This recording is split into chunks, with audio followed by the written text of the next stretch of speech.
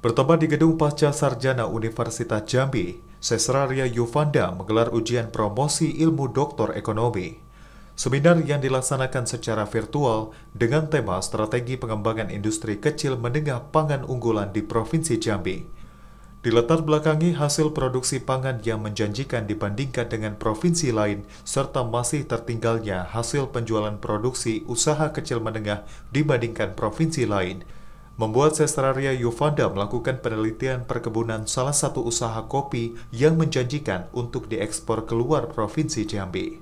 Latar belakang saya mengambil disertasi ini karena saya melihat fenomena yang ada sekarang, kontribusi industri khususnya di Provinsi Jambi itu lebih kecil daripada uh, kontribusi tingkat nasional.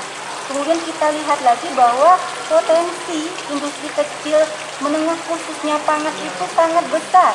Maka kontribusinya lebih dari 30% industri pangan tersebut. Sesraria Yuvanda berhasil menyelesaikan perkuliahan doktor dengan waktu 2 tahun 2 bulan dan merupakan peraih gelar doktor tercepat di Indonesia dengan indeks prestasi kumulatif akhir 3,97. Ashar Jambi melaporkan.